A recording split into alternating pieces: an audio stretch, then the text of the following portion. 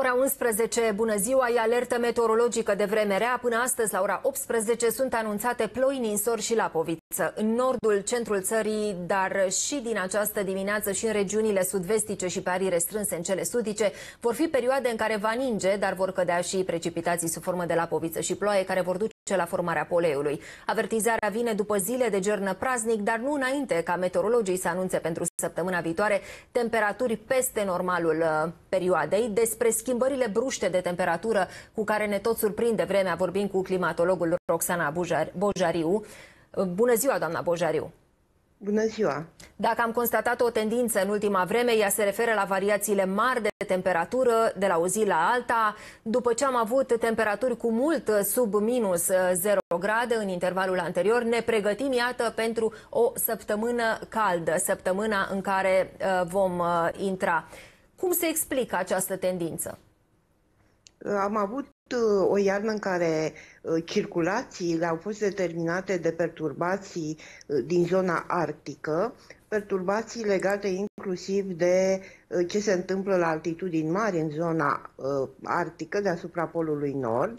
E vorba de acea încălzire stratosferică la înălțimi de 30 mm, de kilometri mai sus, chiar până în 50 de kilometri, Uh, care au determinat aceste încălzi, această încălzire stratosferică, a determinat uh, până la urmă o um, perturbație care s-a propagat și uh, astfel am avut circulații mai ales pe direcția nord-sud în toată iarna, asta însemnând că pe de o parte cei care au fost pe ramura cu circulații cu aer care ajungea în zona arctică dinspre sud, aer mai cald, au avut temperaturi mai mari decât în mod obișnuit, uh, și evident, reversul medaliei au fost și uh, zonele învecinate în care aerul arctic dislocuit de acolo ajungea la latitudini mai joase. Și uh, nu a existat o direcție fixă, evident că și pe parcursul uh, iernii, axa aceasta nord-sud s-a deplasat uh, în diferite zone din America de Nord, Europa și uh, în Asia, în așa fel încât uh, în același loc am putut avea, în funcție de cum s-a deplasat axa transportului dinspre și spre Arctica, fie mm, anomalii pozitive, fie negative, cu un contrast destul de mare, un contrast asigurat tocmai de uh, această, uh, acest aspect extrem al circulațiilor respective. Da, ne pregătim pentru uh, creșteri uh, în termometre. Am văzut pentru prognoza săptămânii viitoare temperaturi de 13-14 grade care um, ne duc, iată, în săptămâna care încheie luna februarie. Ne mai putem aștepta la episoade de iarnă, cel puțin în capitală? Uh, da, ne mai putem aștepta la episoade de iarnă și asta vă spun ca un climatolog. Nu uitați că am avut episod de furtună cu zăpadă în a doua jumătate a lunii aprilie, acum câțiva ani. Evident că nu putem preciza exact când, dar, din păcate, am intrat în această nouă eră a schimbării climatice și schimbarea nu se face gradual, se reconfigurează toate relațiile și toate tipurile de transport uh, atmosferic, dar și oceanic, dar asta acum nu ne interesează atât de mult.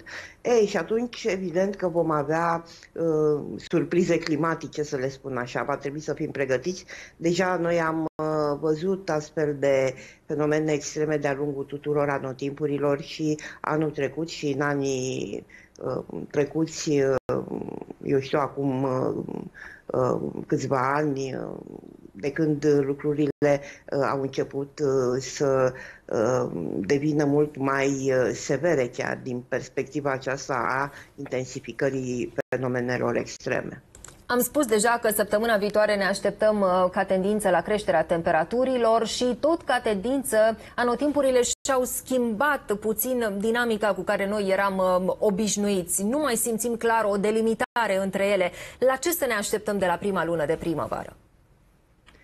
E dificil de spus. Din punct de vedere climatic, uh, prima lună de primăvară este una de tranziție în care pot coexista atât uh, fenomene specifice sezonului rece, dar pot să apară evident și uh, tipurile de circulație caracteristice sezonului cald. Nu degeaba avem perioada cunoscută din popor cu numele de Babele, când clar înțelepciunea populară a observat că sunt condiții foarte schimbătoare de vreme.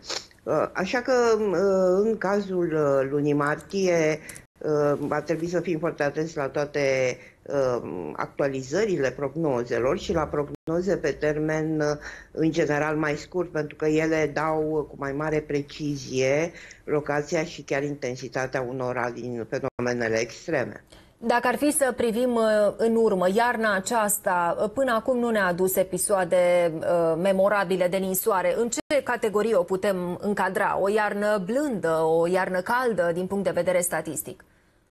Eh, da, vedeți, eh, încă nu s-a terminat, dar putem spune că eh, luna decembrie și luna ianuarie au fost luni mai calde decât media lunilor decembrie și ianuarie din perioada de referință 1981-2010. Pentru februarie încă trebuie să vedem ce se întâmplă pentru a face un bilanț. Totuși, cât de înșelătoare pot fi și mediile, Uh, sau nu înșelătoare, trebuie să le uh, interpretăm uh, în funcție de caracterul lor statistic, cum bine spuneați. S-ar putea să avem per total, ca media iernii, din punct de vedere al temperaturii, o iarnă chiar ușor mai caldă decât intervalul iernilor de referință din perioada 1981-2010 sau în orice caz aceste episoade de iarnă să nu se vadă foarte bine. Uh, dar ele, chiar dacă nu se văd bine în medie, au un impact asupra noastră. Uh, de aceea e important să avem în vedere și aceste uh, fenomene extreme, dincolo de ce se întâmplă cu mediile, pentru că mediile ne arată, statistic vorbind, o tendință de creștere. Schimbarea climatică însă nu înseamnă doar această creștere graduală în mediile anuale sau chiar sezoniere înseamnă inclusiv uh, modificarea statisticilor uh, unora din fenomenele extreme. Teribilul an 2020 a fost și unul dintre cei mai călduroși ani din istorie. Ca o medie, dacă ar fi să vedem cum a debutat până acum 2021, la ce să ne așteptăm de la anotimpurile ce vin? Da, e greu de spus, mai ales dacă încercăm să localizăm, cum ar veni pe continentul european sau uh, în cazul României. Dar dacă privim uh, global, e ușor, uh, e un pic mai ușor de spus ce s-ar putea întâmpla și colegii noștri britanici au făcut un astfel de exercițiu și ideea e că având încă în desfășurare fenomenul La Nina în Pacific, care aduce temperaturi mai mici decât în mod obișnuit pe regiuni mari uh, la suprafața oceanului, uh, probabilitatea de a avea iarăși uh, un record în sensul în care și 2021 să ajungă la nivelul anului 2020 sau chiar la anul 2016, deci probabilitatea asta e mai mică. Uh, au calculat colegii noștri că uh, va fi totuși în top printre cei mai călduroși ani, dar probabil cam în poziția a cincea sau a șasea. Dar asta iarăși nu ne spune nimic de fenomenele extreme sau ne spune uh, faptul că putem avea fenomene extreme foarte pronunțate global vorbind și uh, deja au început, uh, am avut uh, deja în vestul Australiei iarăși incendii de vegetație, am avut aceste episoade cu pătrunderi uh, foarte uh, serioase de aer arctic în America de Nord, în Europa, în da. Asia.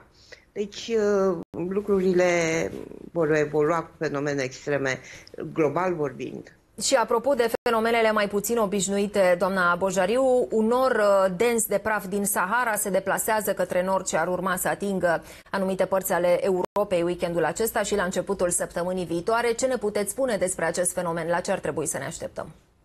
Uh, astfel de fenomene nu sunt deosebit de ieșite din comun. E adevărat că uh, anotimpul lor predilect este primăvara, dar evident că avem astfel de transporturi și, cum vedem acum, în anotimpul de iarnă și cum am mai avut.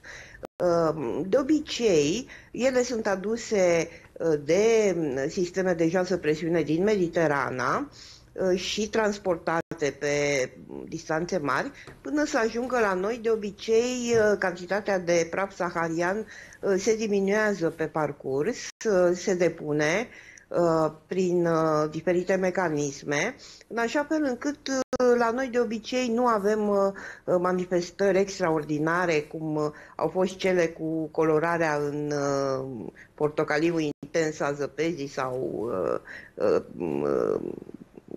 schimbarea culorii cerului, cum s-a întâmplat în sudul Franței uh, acum uh, o săptămână sau două. Uh, deci, în general, deși pot avea efecte dincolo de cele spectaculoase asupra calității aerului, totuși la noi, de obicei, cantitatea de praf saharian cel mult uh, ne, uh, ne arată o depunere uh, vizibilă de praf pe suprafețe da. deschise da. la culoare. Deci nu, nu sunt pericole de obicei foarte mari în zona noastră. Climatologul Roxana Bojariu, mulțumesc foarte mult pentru discuție. Mergem mai departe. Guvernul a tăiat la zero de la 2 milioane de euro bugetul fantomatice Academia Oamenilor de Știință, din rândul căreia fac parte, printre alții, Ion Iliescu, Teodor Meleșcanu, Ecaterina Andronescu și în alt preasfințitul Teodosie. Propunerea de tăiere a venit din partea USR Plus, iar premierul Florin Câțu a aprobat-o. Astfel, Academia Oamenilor de Știință din România urmează să se financeze în acest an în integralitate din venituri proprii, asta dacă le poate realiza. Academia a fost permanent criticată în mediul de cercetare pentru lipsa de relevanță științifică a activității, dublată de bugete extrem de generoase alocate anual. Anii trecuți, membrii titulari au primit o indemnizație brută de 2000 de lei, membrii corespondenți de 1400 de lei, iar membrii de onoare de 1000 de lei. Alături de mine pentru a comenta subiectele momentului în legături Skype, Răzvan Chiruță, redactor șef Newsweek și, de asemenea, sociologul Bruno Ștefan. Bună ziua, vă mulțumesc! Săruna! Răzvan Chiruță, subiectul a fost uh, abordat și în uh, materiale realizate de Newsweek. Uh, vă surprinde această decizie a premierului? Mă surprinde în mod plăcut pentru că este o decizie absolut firească. Această academie nu ar trebui să existe, iar nu are nicio valoare din punct de vedere științific, nu aduce niciun beneficiu României. Există, uh, de exemplu, am citit un raport uh, al acestei academii pentru anul 2016 și la categoria rezultate obținute în activitatea sa, în tot anul 2016 este menționat doar faptul că s-a desfășurat la Durău sesiunea de toamnă cu tema generală știință, cunoaștere, creativitate și spiritualitate. De fapt, această academie și încă altele, că mai sunt câteva academii paralele cu Academia Română, nu au decât scopul, nu au scopul decât de a oferi niște bani unor personaje. În această academie, uh, de exemplu, sunt în majoritate politicieni, nu sunt oameni de știință și uh, se numără Ion Iliescu, de Caterina Andronescu, care e profesor, dar nu are o activitate științifică aici, fost deputat, un fost deputat Angel Stanciu, Șerban Valeca, Ivan Cișmașu, fostul, fostul primar al Timișoarei, Nicolae Robu. Deci, da. în niciun caz nu sunt cercetători și nu se face știință acolo. Aș vrea să revin însă la alocarea bugetară și uh, deocamdată este o informație pe sursă că au fost tăiați banii pentru uh, această academie. Alături de noi uh, prin telefon este profesor dr. Adrian Badea, președintele Asociației Oamenilor de Știință, Academiei Oamenilor de Știință. Îmi cer scuze, domnule profesor, bună ziua! Domnule profesor, bună ziua, dacă ne auziți. Da, vă aud. De la o previziune de buget de 2 milioane de euro pentru anul acesta s-a redus la zero suma de bani alocate a Academiei Oamenilor de Știință la propunerea USR Plus și din decizia premierului. Ne confirmați această informație? Uh, vă pot confirma această informație tot uh, pe surse, pentru că nu am fost uh, înștiințați oficial de acest lucru legea uh, bugetului, așa cum a aprobat-o în ultima ședință, guvernul nu a fost încă publicată, dar probabil pentru că așa este, pentru că este, de fapt, o decizie politică, decizie care s-a luat și anul trecut, când uh, a fost uh, aprobat bugetul prin asumarea responsabilității guvernului și nu prin dezbatere în Parlament. Acum vreau să spun că tot ce s-a spus uh, înainte dovedește o necunoaștere totală, dar absolut totală și o abordare tendențioasă uh, privind Academia noastră. Această Academie a Oamenilor de Știință din România, uh, care a fost reorganizată prin legea sa 31 din 2007, a fost înființată în 1935 de un grup uh, de uh, cercetători eminenți în frunte cu profesorul uh, Constantin Angelescu, un mare om politic liberal. Deci, într-un fel, această Academie este un copil al Partidului Național Liberal. Domnule profesor, discuțiile acestea Iar... intervin în contextul în care după Revoluție Academia a primit în rândurile ei și o serie de oameni politici, printre care Ion Iliescu, Teodor Meleșcanu. este următoarea. Noi aceste, aceste uh, uh, poziții care apar în presă și care sunt manipulatorii se leagă de câțiva oameni, unii dintre ei care eu personal, care sunt la conducerea Academiei din 2008, sunt diverse funcții. Am fost șeful de secție, apoi da. vicepreședinte, Domnule... de 5 ani președinte sunt oameni pe care nu i-am văzut niciodată. Domnule profesor, lăsând la o parte persoanele care fac parte din această academie, în acest moment, cu ce se mai ocupă? Care mai e activitatea economiei? Doamne, Exista un centru de cercetări unei... avansate, da. desfințat la un moment dat. Mai nu, funcționează? acest institut s-a reînființat. El nu s-a desfințat pentru că nu era un institut, era un centru de cercetări. Acum este un institut de cercetări, s-a înființat anul trecut, este foarte activ, acum uh, a organizat și un curs de uh, um, producător de e-learning și e la a doua ediție acest uh, curs, au scos cărți și așa mai departe. Dar vreau să vă spun câteva lucruri. Valoarea științifică a unei instituții care face știință este uh, cuantificată de institute internaționale prin citerile articolelor publicate de membrii lor. Și vreau să vă spun că într-unul dintre cele mai prestigioase astfel de uh, clasificări, Shimago, Institutul Shimago, situează Academia Oamenilor de Știință pe locul 8 pe locul 8 în uh, România, asta în anul 2020, uh, sigur după Academia Română, dar în spatele nostru foarte, foarte, foarte multe institute de cercetări sau institute ale Academiei care primesc finanțări generoase. Domnule profesor, bună știință, domnule director, general, noi... ca 1,2-1,3% din finanțarea Academiei Române. O, o secundă, domnule profesor. Dau câteva cifre din aceste baze de date, în baza Scopus, AOSR-ul are 11.600 de publicații, Academia Română 10.000. Da. Domnule profesor, uh, sociologul Bruno Ștefan a vrut să intervină în discuția cu dumneavoastră. Vreau să spun că domnul director minte uh, prin generalizări sclipitoare care iau ochii. Este minciună în totalitate, pentru că spune că numărul citărilor membrilor uh, situează Academia și este adevărat, dar de pildă Ecaterina Andronescu are 5087 de citări, că sunt pe site-ul Politehnic. Eu sunt profesor la Politehnică prin articole publicate în revistele de chimie, nu în revistele Academiei. Aportul doamnei Caterina Andronescu, de pildă, nu este de 5.000 de citări și a celorlalți. Nu spun, deci ce face domnul uh, președinte? Minte prin faptul că preia rezultatele acelor cercetători din alte domenii și spune că sunt ale Academiei. dar nu sunt ale Academiei. Academia propriu-zis produce rezultate mult mai puține prin membrii ei. Membrii ei produc cercetări, dacă produc în alte instituții și le însușește și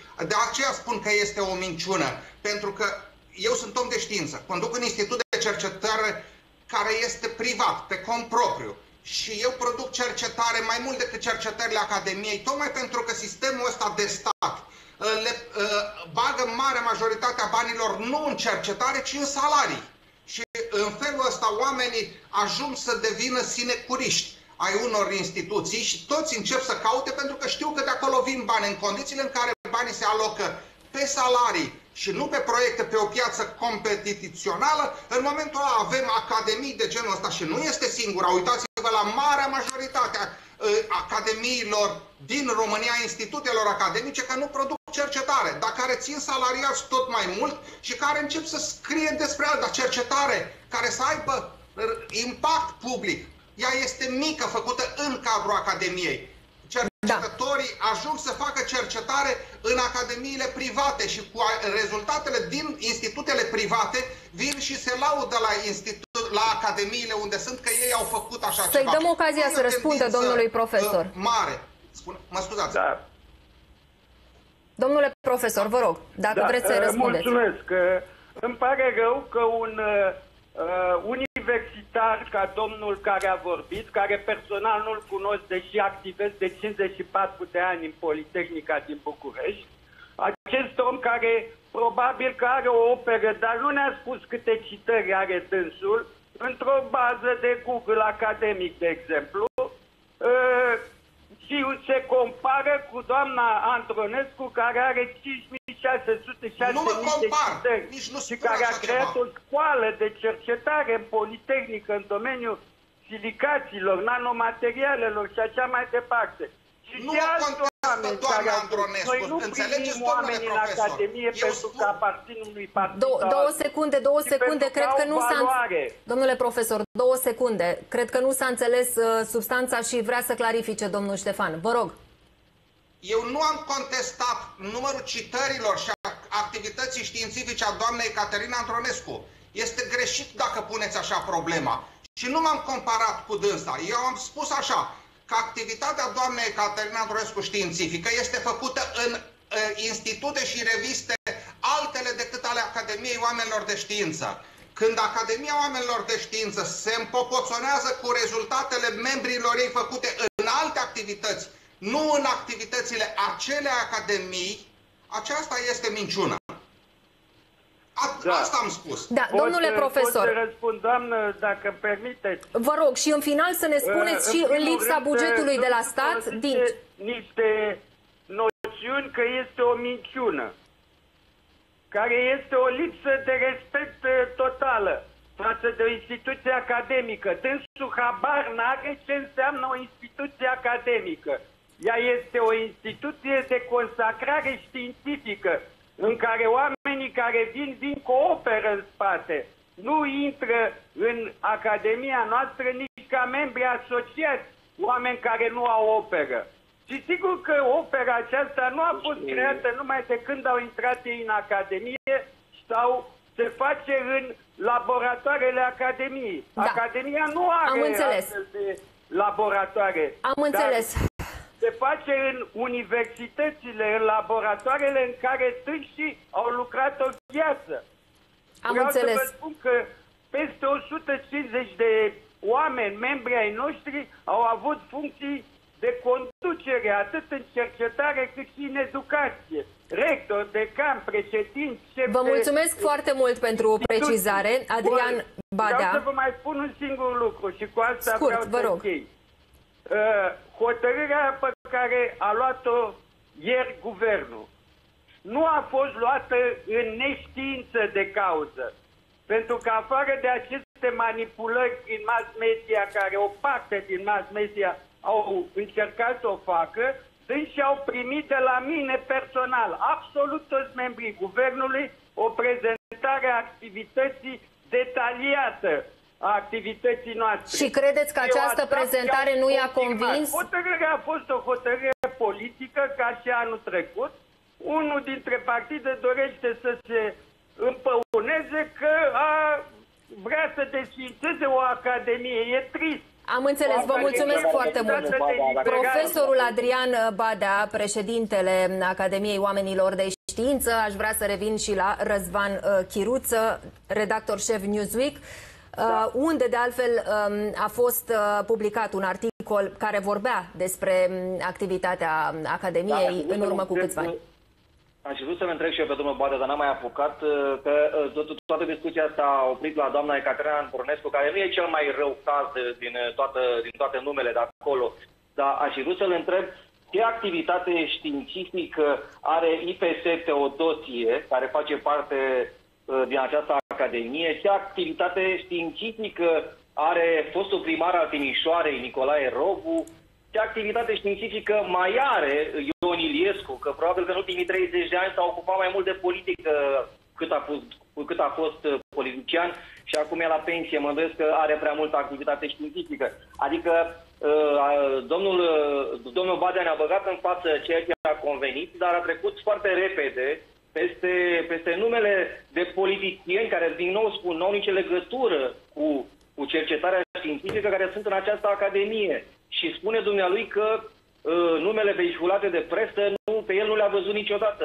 Iarăși un lucru de neînțeles, pentru că aceste nume presa nu le-a spus, uh, uh, nu le-a inventat. Ele sunt în, uh, în lista Academiei, uh, în Academiei Oamenilor de Știință, sunt, apar acolo pe site-ul lor, apar, sunt, fac parte din secțiile acestei academii.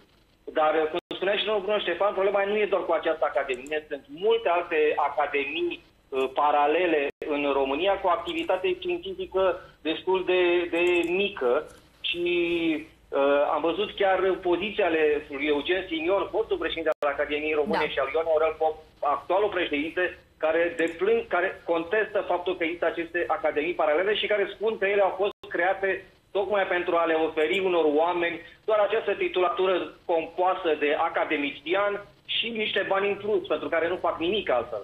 Da, schimbăm uh, subiectul, dar rămânem la buget pentru că guvernul a adoptat uh, proiectul bugetului de stat. Documentul urmează să ajungă în Parlament în acest weekend pentru dezbatere și vot. Am văzut, iată, sănătatea și transporturile vor primi mai mulți bani pentru investiții din fondul de rezervă. În rest, spune premierul, nu sunt modificări față de cifrele prezentate anterior și nici față de modul de abordare a cheltuielilor la stat. Mai exact, performanța va fi în criteriul prioritar uh, de acum înainte. Aș fi vrut să vă întreb, domnul, domnilor, referitor la faptul că s-a spus despre acest mult așteptat buget al anului 2021, că este cel mai complicat din ultimii uh, 30 de ani. Bruno Ștefan, care au fost marile provocări ale bugetului de anul acesta și cum arată în acest moment documentul? Uh, eu nu m-am uitat pe document, am urmărit declarațiile premierului și am văzut cum anume s-au așezat lucrurile și în alte ministere. E clar că statul investește uh, destul de mult în niște uh, instituții, niște activități ale că, care produc rezultate cât mai puține și nu investește acolo unde rezultatele ar putea să crească. Obiectivul pe care l-a declarat de pildă Florin Cățu este să ajungă la 6% din PIB în educație. Și atunci trebuie a, a, să scoată din altă parte, pentru că e clar că educația este motorul dezvoltării oricărei țări. Și trebuie să investești în, educa- în, în educație și cercetare, în principal. De aceea tai de acolo unde nu se produce cercetare, cum este Academia Oamenilor de Știință, care este doar o uh, recunoaștere a activității de cercetare pe care o fac alții în alte instituții și plătești instituțiile care produc cercetare. Și de asta eu privesc cu, să spun, Uh, ca o bilă albă lucrul ăsta, pentru că reașezarea uh, pe niște principii manageriale este obligatorii. Trebuie să aloci 10% uh, din bani pe primele 20% din activități care produc care au eficiență. Asta este principiul Pareto, care din economie se aplică în toate domeniile cunoaște și de aceea a devenit un principiu managerial fundamental. 80% din bani, de pe primele 20% de măsuri care produc Uh, rezultate. Ori noi am avut acest principiu uh, stricat. Am dat mai degrabă 80% din bani în celelalte 80% din activități care nu produc și care de fapt întrețin. Și atunci noi am ajuns cu o mașină, am umplut în porbagajul mașinii și n-am pus în puterea mașinii ca să tragă. Și în momentul ăla mașina nu mai trage. Noi trebuie să reașezăm principiul lui Pareto în modul de organizare managerială, inclusiv în bugetare. De aceea am privit ca un lucru bun uh, tăierea bugetului de la Academia Oamenilor de Știință și investirea în institutele de știință, care produc știință, nu care pre... Academia nu face decât să preia numele celor care produc și să le mai ofere o recompensă. În condiție, deci asta este o dublă salarizare, cum ar veni, a celor care sunt acolo. Mai bine le dai bani să, banii aceia îi dai acelor cercetători să producă în acele institute sau, dacă nu, în academia care produce. Ori, uitați-vă, așa cum există Institutul Academ- Institutele Academiei Române, tocmai pentru că ele s-au umflat tot mai mult, să, să ofere cumva și locuri de muncă și recunoaștere unor cercetători, au ajuns, da. datorită constrângerilor bugetare, să nu mai facă cercetare aproape deloc. Dar deloc.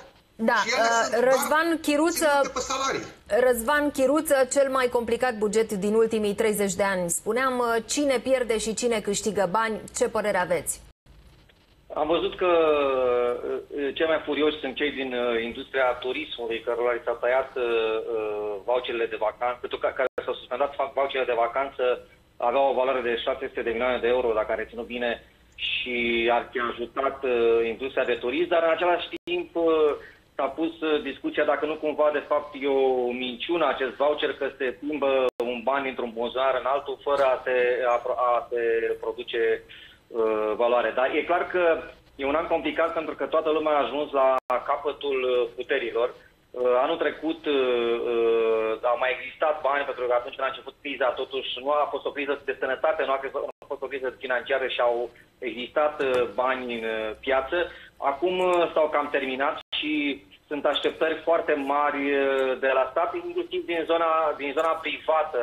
Uh, firmele așteaptă să se, să se aprobe acest buget, să devină funcțional, pentru că sunt câteva măsuri de ajutor care sunt blocate în momentul de față, tocmai pentru că nu există un buget și uh, uh, e nevoie cât mai repede de acest buget. Va fi un an complicat în, în sănătate, clar, și, pe de altă parte, pe de altă parte mă bucur că s-a schimbat filozofia uh, guvernării, pentru că dacă până uh, în 2019 s-a mers pe acea idee de a stimula consumul, o idee care se dovedește păguboasă pentru că uh, nu produce, iată că s-a schimbat și acum se merge, se merge pe investiții și s-au alocat mai mult bani la investiții. Ori asta este un lucru foarte bun pentru că doar prin investiții pot uh, produce și sper sper ca uh, anul ăsta să înceapă să se deblocheze marile proiecte de infrastructură din, uh, din România, să fie chiar uh, concret, nu doar pe hârtie, pentru că e absolută nevoie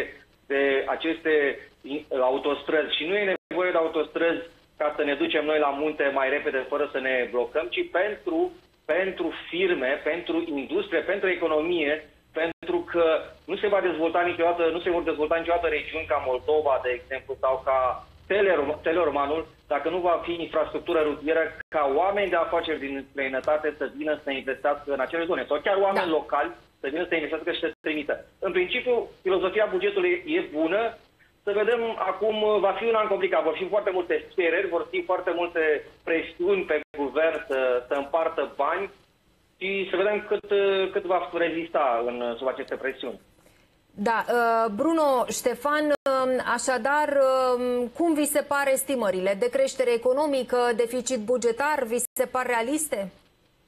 Um, eu spun că în afara acestor estimări care au marja lor de eroare, uh, ne vom confrunta în perioada imediat următoare cu niște reacții publice care vor afecta aceste estimări semnificativ de mult. Pentru că întotdeauna când se face un buget, Uh, niște oameni care nu sunt neapărat dependenți politici, vin și uh, servesc uh, acele lucruri.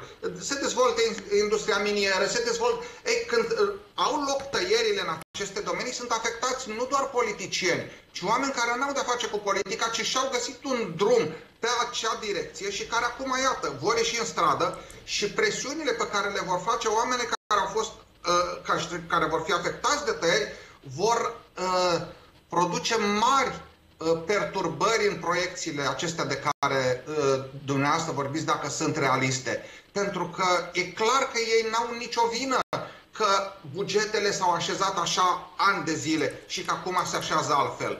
Dar ei ar trebui să înțeleagă că uh, România se pune pe o altă direcție de acum. Și direcția este asta, se va investi în altceva. Întotdeauna când înțelegi drumul pe unde se duce, știi că te poți așeza pe acel drum pentru că e loc pentru toți, pentru cei mai mulți. Nu lasă pe din afară pe unii, lasă niște domenii, probabil care nu mai sunt rentabile, dar oamenii se pot muta în alte uh, lucruri. Pot găsi soluții pentru rentabilizarea acelor domenii dacă o vreme au crezut că merge și așa. Și dacă a mers și așa, că primeau bani de la stat pe rezultate mai puține, acum vor fi nevoiți să se așeze într-o formă mai eficientă pe o piață. Altfel dispar, că e, asta este uh, legea naturală într-o societate. Dacă alegem să finanțăm tot de la stat, revenim la o societate socialistă în care toate sunt susținute de stat, în care privatul nu mai da. are niciun rol, dar motorul uh, bugetului ăsta, filozofia lui, da. este că statul trebuie să susțină privatul pentru ca el la rândul lui să aducă bani la buget pentru a susține stat. Răzvan Chiruță, Dacă invers, Apropo de... Să mergem cu mai puțin efort, cu mai puțină viteză. Da, Răzvan Chiruță, apropo de aceste proiecții, credeți că există pericolul depășirii deficitului bugetar estimat um, în condiția în care sunt foarte multe necunoscute care ar putea avea un impact direct asupra creșterii economice?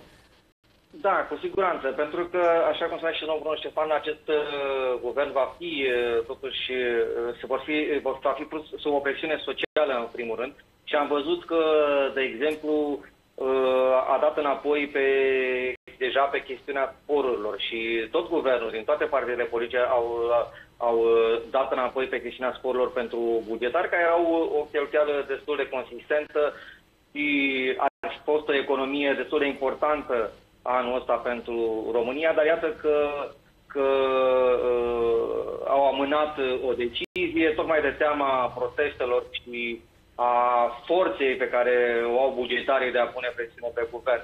Uh, vor mai fi rectificări de-a lungul anului. Uh, în momentul de față e greu de spus ce se va întâmpla la finalul anului, pentru că dacă ne gândim la anul trecut, uh, când a început pandemia, estimările pentru România erau extrem de sumbre, se anunța un dezastru și până la urmă s-a dovedit că nu a fost chiar atât de rău, pe cât se spuneau estimările. Am constatat așa din propria mea experiență că în general, estimările astea sunt făcute mai degrabă uh, pe moment, dar fără a se, se materializa până la capăt. Deci, da. cred că despre ceea ce se va întâmpla să discutăm undeva prin toamnă, ca să știm cu siguranță uh, care va fi rezultatul. Le mulțumesc foarte mult invitațiilor mei, Răzvan Chiruță, Bruno Ștefan. Așadar, ne pregătim să luăm o scurtă pauză de publicitate, după care schimbăm registrul și vedem că valul al treilea al pandemiei va lovi România cel târziu la începutul lunii viitoare, așa spun estimările specialiștilor. După publicitate revenim. Începutul lunii viitoare, spune medicul și cercetătorul Octavian Jurma, și va fi dat de răspândirea necontrolată al turpinii britanice în țara noastră. Iar dacă e să ne luăm după ultimele studii făcute de specialiști, jumătate din secvențierile făcute aleatoriu au depistat existența virusului britanic. Oficialii Ministerului Sănătății calculează Altfel însă și le este că doar aproximativ 25% din cazurile noi de coronavirus ar fi date de tulpina din regat, așa că au raportat 136 de cazuri din 499 de secvențieri.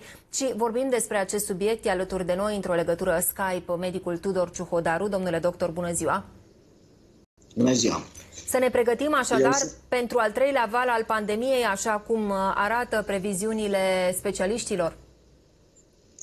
Eu cred că tot ne pregătim de vreun an de zile, dar nu avem niciun fel de eficiență și că măsurile sunt haotice și puse în practică, de aceea nu avem niciun fel de finalitate în ceea ce înseamnă controlul unei pandemii. Vă spun de la începutul acestei pandemii că e nevoie de un nou plan. Planul B, o strategie coerentă care presupune trei lucruri esențiale și le știți fi de asta, testare extinsă, gratuită, pentru că cea mai sigură metodă de a nu te îmbolnăvi de coronavirus este a nu te întâlni cu un portător de coronavirus și n-ai de unde să știi acest lucru. În al doilea rând, respectarea acestor măsuri de bariere și în al treilea rând, ar fi momentul chiar să redeschidem spitale, pentru că dacă cifrele oficiale ne arată o scădere a numărului de cazuri, inclusiv la terapie intensivă, sunt convins dacă s-ar uh, găsi soluțiile necesare, utilizarea inclusiv a spitalului modular de la Iași, rol 3, am putea să redeschidem spitale și pentru celelalte categorii de pacienți. Haideți să mai spun un lucru. Bine că să venim cu drogul de sare și cu tot felul de teorii. Nu știm dacă datele date de Ministerul Sănătății sunt uh, exacte, pentru că noi nu facem nici pe departe ceea ce înseamnă testare și secvențierea genomului acestui virus. Să știți că recomandările la nivelul Comisiei Europene și ceea ce am făcut noi în Comisia de Sănătate a Parlamentului European? Indică că pentru a avea relevanță, testările trebuie să asigure măcar 0,1% din populația României, iar secvențierea acestui genom să fie peste 5% din testele efectuate, ceea ce este departe de ceea ce se întâmplă la ora actuală în România, așa că ne putem uh, consola sau uh, bate cu pumnul în piept că avem o strategie minunată, că totul este verde în România, dar de fapt uh, suntem legați la ochi și orbecăim în ceea ce privește o strategie coerentă. Și să știți că am cerut Comisiei Europene, doamnei președinte a Comisiei Europene, chiar în Comisia de Sănătate în săptămâna trecută, într-o dezbatere privind modificarea strategiei pe ceea ce înseamnă abordarea acestei pandemii, iar acolo oamenii înțeleg că e vorba de cifre mari, de numere mari și că trebuie o strategie coerentă. Așa că în acest moment pot să vă spun, poate în premieră pentru dumneavoastră, că deja vorbim despre o adevărat sistem de bioapărare la nivel uh, european. Acel HERA incubator în care vrem să facem trei lucruri esențiale care nu se întâmplă la ora actuală în România. Pe de o parte, alocarea 75 de milioane de euro pentru ceea ce înseamnă testare, inclusiv secvențiere a genomului acestui virus. Și să știți că sunt mii de teste la nivel european oferite pentru acest lucru și am rezerve că România a accesat, în ciuda faptului că nu are această capacitate de testare pe, pe secvențiere genomică, vreunul din, din de testele oferite gratuit de Uniunea Europeană. În al doilea rând vorbim despre cercetare în acest domeniu. 150 de milioane de euro vor fi alocate pentru a vedea în timp util noile variante de coronavirus. Iar aici vă reamintesc că vorbim de o cursă contra cronometru, iar România este departe de a asigura cele 77.000 de injecții zilnice care ar presupune să facem acea vaccinare, imunizare, injectare, mai bine zis, mai bine zis a celor 10 milioane 400 de mii de români promiși de premier până în septembrie. Și în al treilea rând este extrem de important. Încă 150 de milioane și poate să trezesc și oficialitățile și guvernanții. Încă 150 de milioane vor fi alocate pentru creșterea capacității de producție a acestui vaccin. Uh, pentru că am solicitat fonduri suplimentare, inclusiv pentru Institutul Cantacuzino. Știți foarte bine că proiectul meu de lege, soluția mea legislativă, când am reușit în Camera Deputaților să strâng 123 de parlamentari pentru că acest Institut Cantacuzino să fie redeschis, a fost pus în practică. Dar acum ne uităm la decalajele tehnologice și tot ceea ce înseamnă producători de medicamente în România, spune că suntem cam un 10 ani în urmă față de Uniunea Europeană. Gândiți-vă că sunt 150 de milioane de euro la nivel european. Am putea să-i accesăm și să facem ca din Canta cu un nou brand de țară, pentru că a avea capacitate de producție pentru medicamente și vaccinuri în România este esențial în abordarea inclusiv a viitoarelor pandemii. Acea companie farmaceutică română de care vorbesc eu de atâta timp ar trebui să fie în uh, vizorul CSAT-ului, a Consiliului Suprem de Apărare a Țării și o abordare coerentă la nivel european în așa fel încât să nu mai fim descoperiți în fața unor astfel de situații. Și să știți că deși 2,3 miliarde de doze sunt rezervate la nivel european, ceea ce s-a întâmplat în ultima perioadă din punctul meu de vedere este dezamăgitor în ceea ce privește asigurarea fluxurilor de producție și a ceea ce înseamnă uh, posibilități de imunizare la nivel european. Iar am cerut președintei Comisiei Europene termene clare, să știm și noi capacitatea de producție, să fie transparență, când și unde ajung aceste vaccinuri, în așa fel încât orice cetățean european, fie că este la Iași, la Vaslui, la Bacău, la Oradea, la Timișoara, să beneficieze gratuit de tot ceea ce s-a investit la nivel european în știință și tehnologie.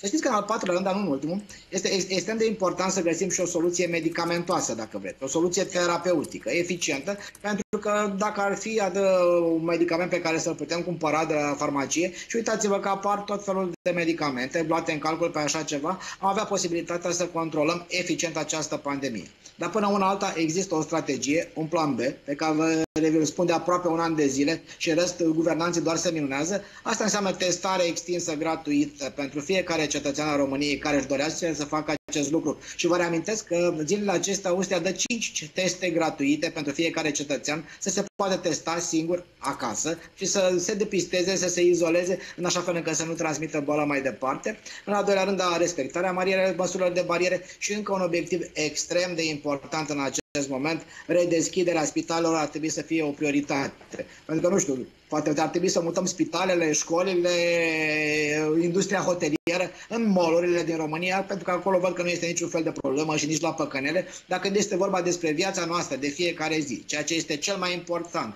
sănătate, educație și în România, lucrurile acestea sunt departe de a avea o strategie coerentă și vedem acest lucru în fiecare zi. Când am putea să ne așteptăm, domnule doctor, uh, la începerea vaccinării populației generale? Aprilie, așa, termenul avansat de uh, specialiști, vi se pare unul realist?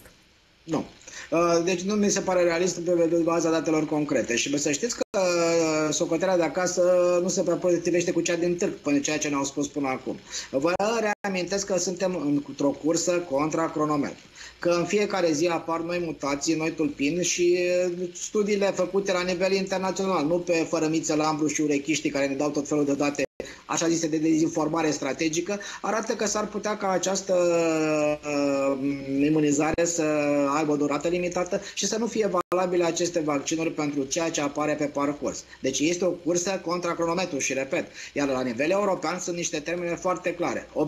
80% din populația vulnerabilă ar trebui aprobată de cadre medicale și ceea ce înseamnă uh, grupe de risc până să fie vaccinată până în martie, iar 70% până la începutul verii. Mai ține bine minte, vara astronomică apare pe 21 iunie. Și am mari rezerve că în contextul în care nu avem o strategie coerentă, în contextul în care aprovizionările au mari discontinuități, în contextul în care pe platforma aia de vaccinare ne-am trezit Cred că suntem singura țară din lume în care are 6 milioane de esențiali pe o listă de vaccinare în contextul în care sunt atâția vârstnici care avea nevoie de imunizare sau pacienți cu patologie cronică, ă, că aceste date vor fi rezolvate și că această strategie, atenție, cronometru va fi eficientă.